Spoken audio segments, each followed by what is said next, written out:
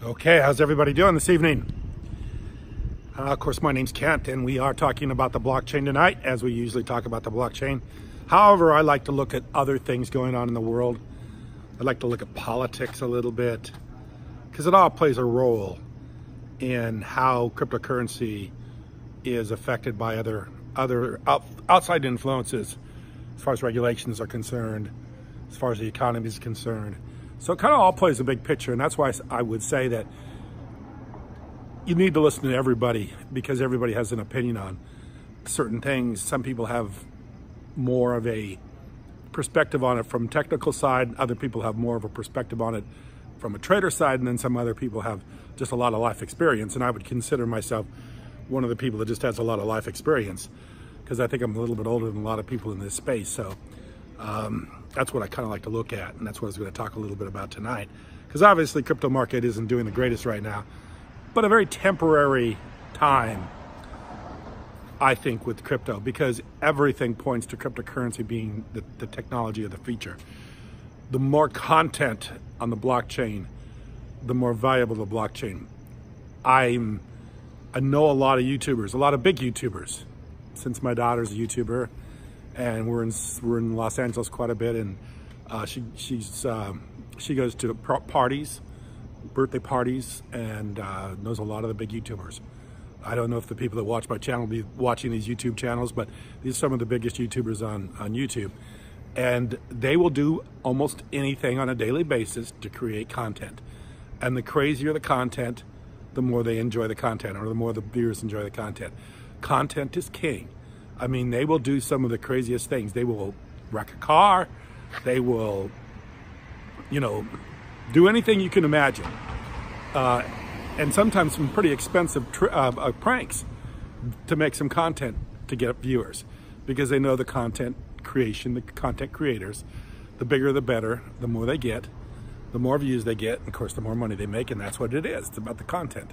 That's what the blockchain's all about. It's about the content. It's all about a server. In fact, I was talking to a developer about, about this tonight. We were changing over some stuff on the server. We were talking about the server stuff. So the server is where everything is stored. That is the future, the storage of where everything is. You know, the more you store on the on the blockchain, the more valuable the blockchain becomes. The more you put the food chain on the blockchain, the more you put um, the legal pro, uh, um, legal cases or legal um, the uh, the, uh, the precedence on the blockchain. The more things you put on the blockchain, the more the blockchain has um, content. The more content it has, the more valuable it becomes, and that's what's going on right now. So that is that it just continually grows as time goes on. Of course, the more applications are running, more applications are built, and we're getting close on the challenge. In fact, that's what we were working on tonight.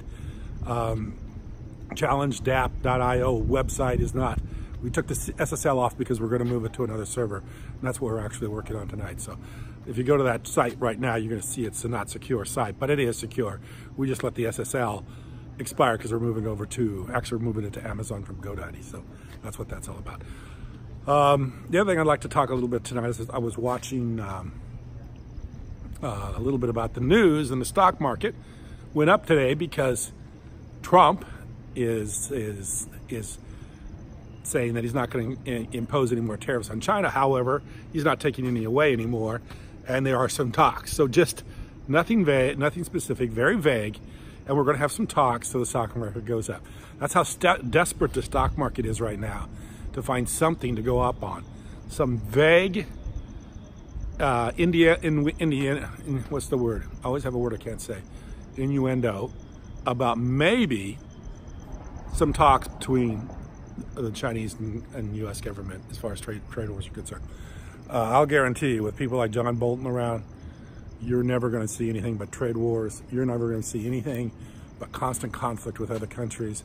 That just makes the blockchain all the more valuable because the, the, the people like that, they they don't like things running smoothly. They like things running very um, chaotically. I mean, I think that I think in Donald Trump's mind, more chaotic the better because that's a that's a con content creator in its in itself.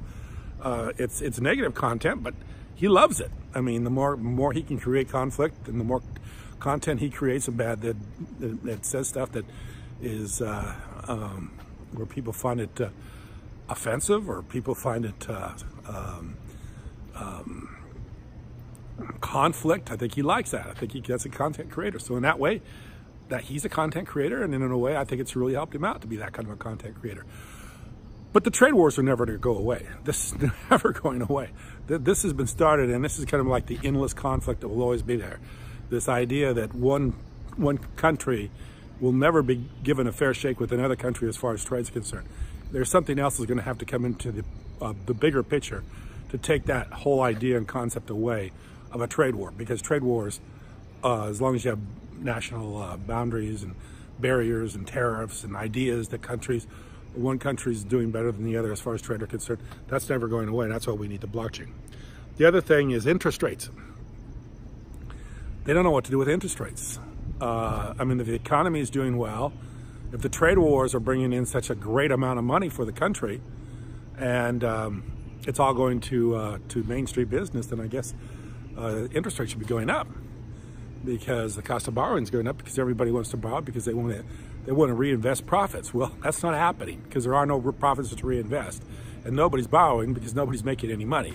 So the idea of interest rates going up, I think, is is, is a, a pretty far out idea too, which means the economy is pretty slow. So not only is the blockchain a little bit slow right now, but the blockchain will stay slow. The economy in general is very very slow right now, as is indicated with stock market just going up on innuendo news and by vague news of, of, of, of some sort of talk, not even any kind of deal or any kind of even yeah, any any kind of um, really any kind of a, a, planned talk. It's just supposed to be they're supposed to be together somewhere in this.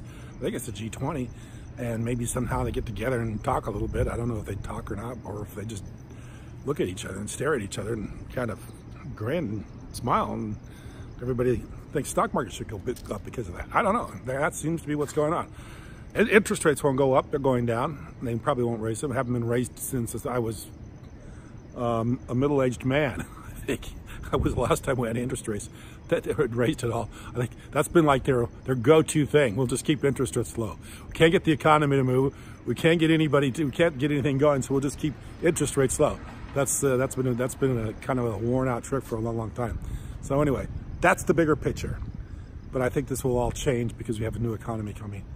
We, we're going to install the blockchain in the world with the server and information and content that will make the, the, the world an easier world to trade in, an easier place to be in, and an easier place to use uh, content and have content available for everybody to use.